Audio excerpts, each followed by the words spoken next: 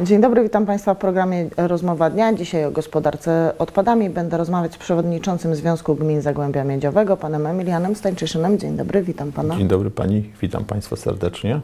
Ostatnie lata, prawdę mówiąc, od, od y, momentu, kiedy ta rewolucja weszła, były dosyć stabilne. To, to, czego się przez te lata nauczyliśmy, to mam nadzieję powinno nam zostać już w głowach, ale od nowego roku y, zmiany. No, to, co dla mieszkańców najbardziej widoczne na początek, to jednak zmiana ceny. Skąd ta zmiana ceny? Tak, e, to prawda, trzy lata temu był czas rewolucji, przebudowy boksów śmietnikowych, edukacja e, w zakresie e, segregacji odpadów u źródła, czyli u nas w mieszkaniach, w naszych pojemnikach przed naszymi budynkami. Pierwszy przetarg przeprowadziliśmy trzy lata temu. Przypomnę, wybrana firma, żeby obsłużyć trzy miasta, 100 wiosek, musiała otrzymać 4,5 miliona złotych z pieniążków, które zbieramy od mieszkańców.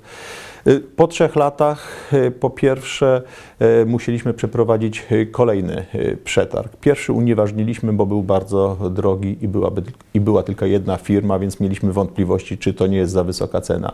Drugi przetarg, na który przybyły trzy firmy,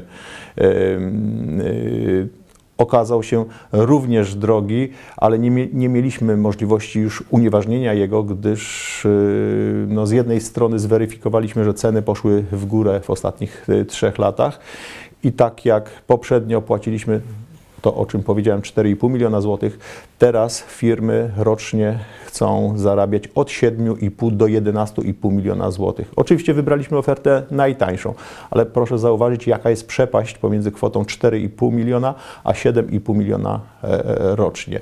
A więc e, ta podwyżka z 29 zł na 35 zł na rodzinę zawiera między innymi część środków, które musimy zapłacić tej firmie. Powiem, że obsługa przez firmę naszych wiosek, naszych e, miast oraz centralnego punktu e, selektywnej zbiórki e, odpadów to e, stanowi oraz tych 500, e, utrzymanie tych 530 punktów, które mamy w terenie, to jest 86% wszystkich kosztów, a więc tutaj nie ma możliwości zaoszczędzenia już na niczym, co czyniliśmy oczywiście zarządem związku. Prawo stanowi tak, że koszty musimy pokryć z przychodów mieszkańców, stąd ta podwyżka, której oczywiście nikt nie lubimy też.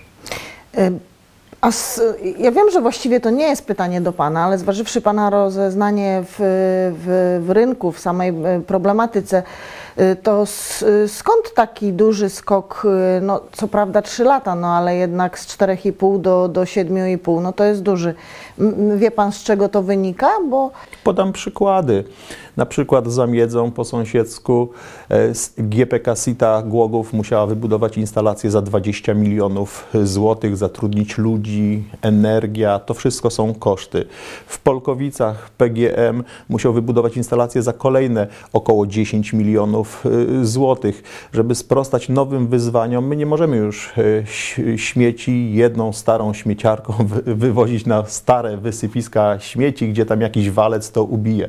Teraz to są specjalistyczne pojemniki, specjalistyczne samochody, y, tak zwane ripoki, a więc fabryki, które przetwarzają różne odpady, a na składowiska może trafiać coraz mniej. Tam pracują ludzie, y, to są wielkie nakłady inwestycyjne. To się właśnie w Polsce teraz dzieje, nadrabiamy zaległości, to niesie niestety y, koszty, ale z drugiej strony oczywiście są pozytywy, o których kiedyś jeszcze porozmawiamy, y, bo to nie jest tylko tak, że to kosztuje, a my Polacy, my Europejczycy nie mamy z tego żadnych korzyści. Przedsiębiorstwo Gospodarki Miejskiej w Polkowicach jednak ten przetarg przegrało. To nie Polkowice, nie PGM teraz będzie odbierał nasze odpady, tak? Tak, e, wygrała, e, wygrało konsorcjum firmy e, Remondis, która jest największą firmą w Polsce w zakresie gospodarowania odpadami.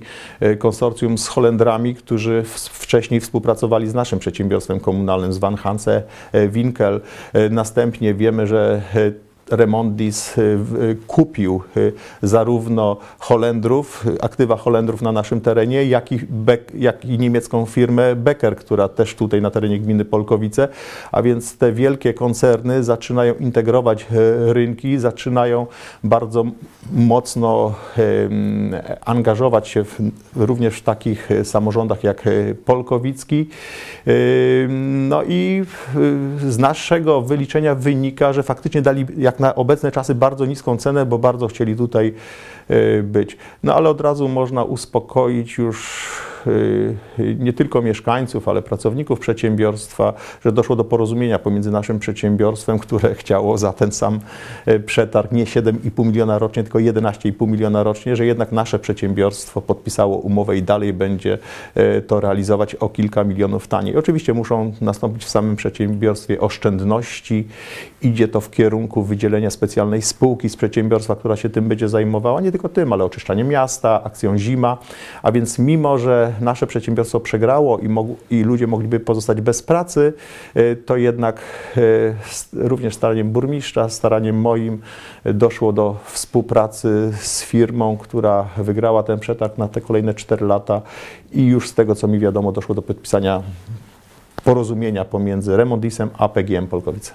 Do tej pory w, tej poprzedniej umowie mm, odbierający śmieci miał zapewnić e, porządek także w przokach. Także poza dniami, kiedy te śmieci były odbierane, często widziałam samochody, które jeżdżą, jeżdżą i, i sprzątają, zbierają rzeczy, które tam stoją. I właśnie stąd moje pytanie.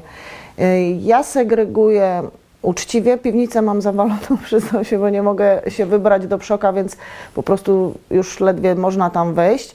I takich ludzi jak ja jest sporo. Tymczasem jest też sporo osób, które po prostu po prostu wyrzucają kiedy chcą, wystawiają kiedy chcą, a przedsiębiorstwo zobowiązane umową musi to posprzątać. Jak rozumiem, nie robi tego za darmo, płacimy za to wszyscy. Więc y, moje pytanie, choć sama prawie, że nie wierzę, że to mówię, pytam, kiedy zaczniecie karać tych, którzy sobie tak beztrosko wywalają y, śmieci poza, poza terminem wystawek, bo za to płacę ja i wszyscy ci, którzy, którzy podeszli do, do sprawy dosyć poważnie. No, przyznam się, że to jest takie dosyć demobilizujące.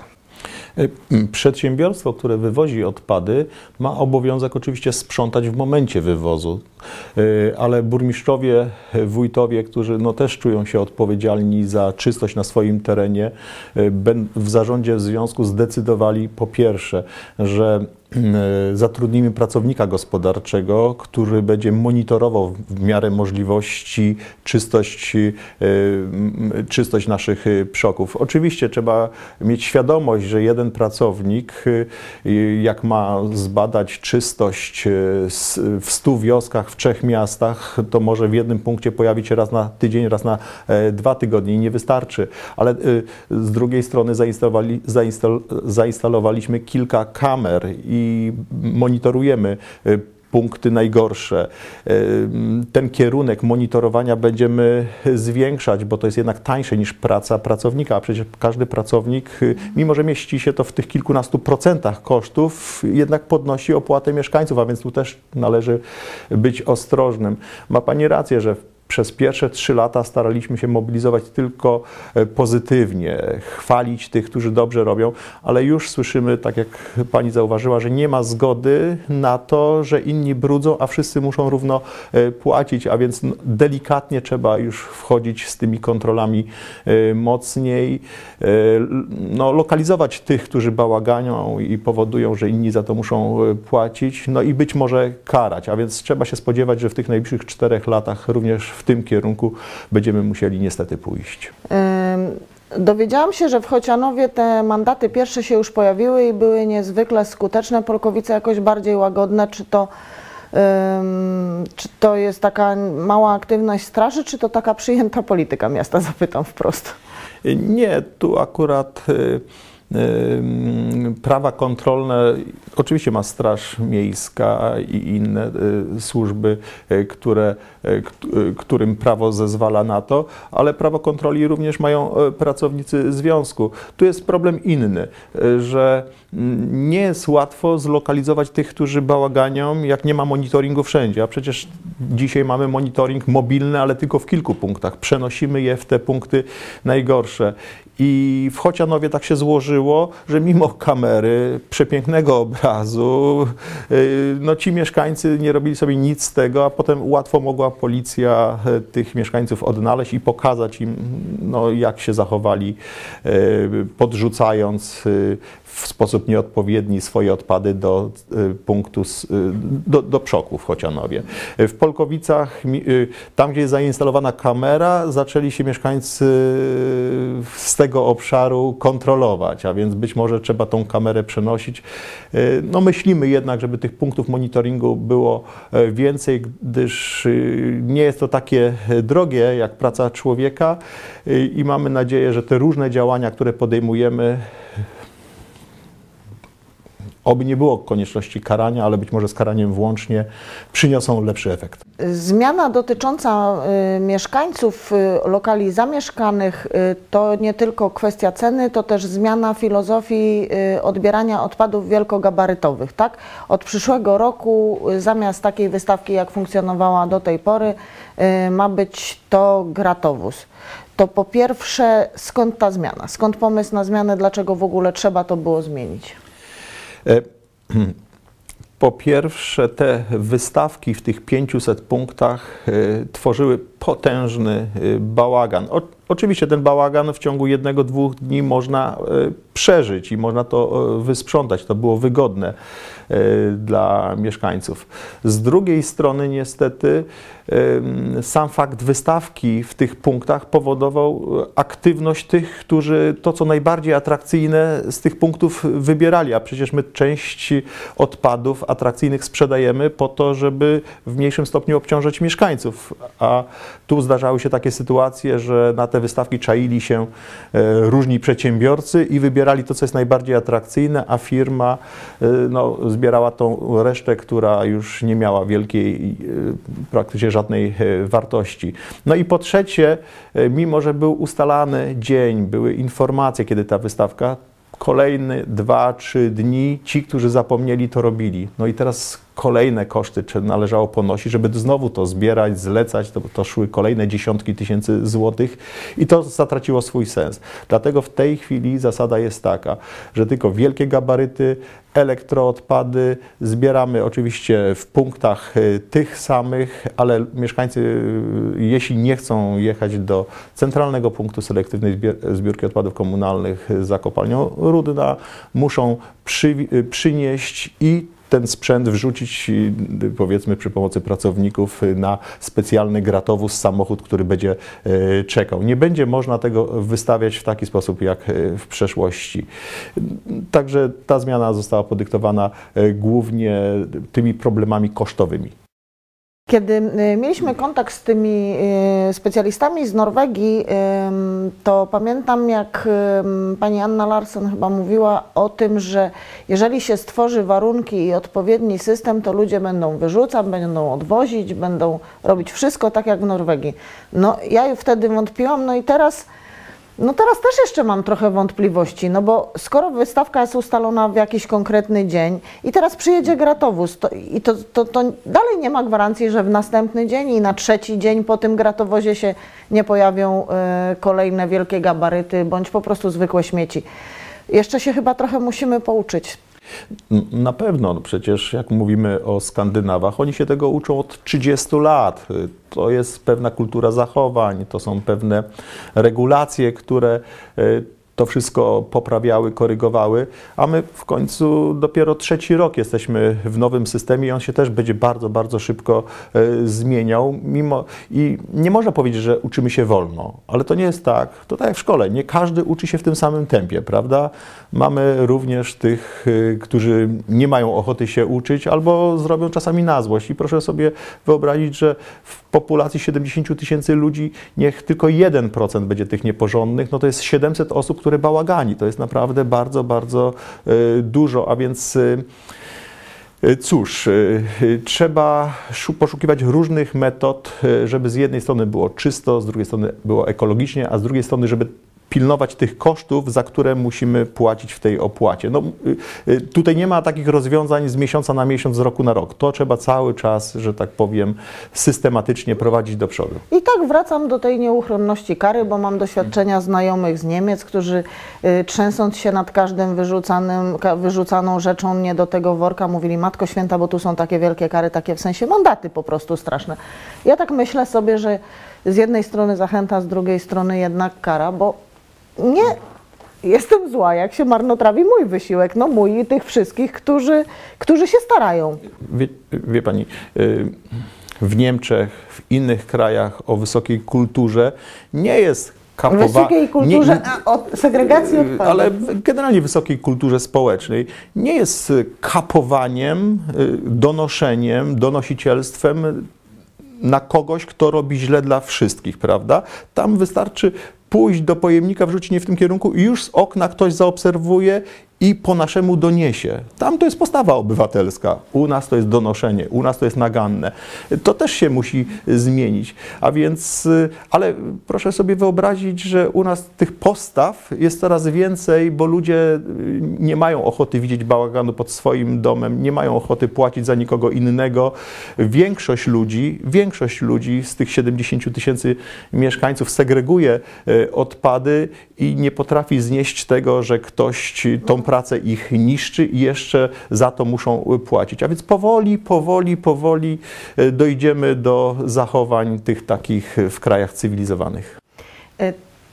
Zmienia się także to, że od, od nowego roku, właściwie od lutego, tak, obejmujecie swoim, swoim systemem, znaczy obejmujecie tym systemem także mm, firmy, zakłady, firmy i zakłady zatrudniające powyżej 20 pracowników, tak? Mm, I już, y, mm, no ale to znaczy tak, teraz i tam będzie obowiązywać segregacja? Związek Gmin Zagłębia Miedziowego miał obowiązek sztywny, ustawowy objąć y, mieszkańców już 3 lata temu, a w zakresie pozostałych podmiotów ma prawo, ale nie obowiązek. Uznaliśmy jednak, żeby był porządek, żeby y, wszyscy składali się na system, który tworzymy, na te inwestycje, wspomniałem na początku w Głogowie 20-milionowe, w Polkowicach kilkunastomilionowe, y, to y, po prostu musimy objąć również pozostałych. Firm nie znamy, a więc obejmujemy je stopniowo. Teraz objęliśmy jednostki sektora finansów publicznych w liczbie mniej więcej 100. Tam są szkoły, przedszkola, urzędy i tak. I około 50 największych zakładów. Jak poznamy ten rynek, będziemy obejmować kolejnych, ale dopiero na końcu, jak wszyscy będą objęci systemem, powiemy, że uczciwie wszyscy składają się na ten system, a nie tylko e, mieszkańcy, a z drugiej strony już nie będzie żadnych motywacji, żeby śmieci lądowały w lasach, śmieci lądowały na polach, w rowach, bo już nikomu się nie będzie opłacało, bo każdy będzie musiał po prostu płacić tak jak mieszkańcy. Czy mają śmieci, czy nie mają śmieci, no, wnoszą opłatę, bo tak ustawodawca nakazał. I taki jest y, cel i dlatego pierwsze 150 podmiotów objęliśmy nowym systemem, które no, razem z mieszkańcami składają się na tą opłatę, która pokrywa te koszty, o których powiedzieliśmy na początku. A, jak oni, tak już z ciekawości, no bo jakby nie, nie mnie to dotyczy, ale myślę, że też i widzowie są za, zainteresowani, jak oni, jak, jak te firmy płacą? Tam się płaci od, od, od ilości odebranych odpadów, czy od osoby? Jak? Ustawodawca zbudował dwa różne systemy. Tutaj wybraliśmy system na e, rodzinę, taka sama opłata, za wyjątkiem osoby indywidualnej. W firmach płaci się za pojemność e, pojemnika. Jednak e, my mamy z mocy prawa już od trzech lat nadzór nad wszystkimi. Nie tylko nad mieszkańcami, których objęliśmy, nie tylko nad firmami i instytucjami, które teraz ob, ob, objęliśmy, ale również nad tymi, których nie objęliśmy. I my w sprawozdaniach mamy ilości odpadów łącznie, które lądują w instalacjach, na składowiskach od tych wszystkich podmiotów. A więc mamy możliwość w miarę proporcjonalnego rozkładu obciążeń. I proszę sobie wyobrazić, jak zbadaliśmy te liczby, mieszkańcy w poprzednich latach płacili za każdą tonę odpadów dużo, dużo więcej niż firmy. Tak też nie może być po prostu. A więc w tej chwili, dzięki temu, że firmy weszły do systemu, te sześć y, mieszkańcom można było, każdej rodzinie można było dać pod, podwyżkę na kolejne 4 lata o te 6 zł, a nie na przykład o kilkanaście złotych przy tej dużej podwyżce y, związanej z transportem, z odbiorem i zagospodarowaniem odpadów. A więc tu też chcemy, ażeby solidarnie wszyscy składali się na te instalacje, które przecież dla wszystkich są budowane po prostu, prawda? No właśnie, może na koniec tego programu warto powiedzieć, bo, bo rzeczywiście od, y, od nowego roku podwyżka, ale to nie jest podwyżka. Znaczy wiadomo jak, przepraszam, wiadomo jak długo będzie ta cena obejmować, y, ob, y, obowiązywać. To jak długo? Chcielibyśmy i mamy nadzieję, że to będzie możliwe, że tak jak poprzednia cena 29 zł funkcjonowała 3 lata, y, mniej więcej 3 lata, to ta kolejna będzie funkcjonowała e, y, kolejne prawie 4 lata, a więc do jesieni roku 2019. Y, W roku 2019 będzie trzeba zrobić kolejny duży przetarg, który będzie stanowił kolejnych 80-90% wszystkich kosztów i te koszty rozłożyć na mieszkańców. W tej chwili mamy, mamy wrażenie, że system zbilansowany, jak nic złego się nie stanie, bo przyjęliśmy już wszystkie deklaracje od przedsiębiorców, e, że wytrzymamy kosztowo przez kolejne 4 lata w ramach tych ustalonych dla wszystkich opłat. Dziękuję panu bardzo za dzisiejsze spotkanie. Dziękuję Pani, dziękuję Państwu i pozwólcie, że złożę Państwu najserdeczniejsze życzenia e, z okazji zbliżających się świąt e, Bożego Narodzenia, jak również wszystkiego najlepszego w nowym 2016 roku. Dziękuję bardzo. Dziękuję panu, państwu bardzo. Do zobaczenia.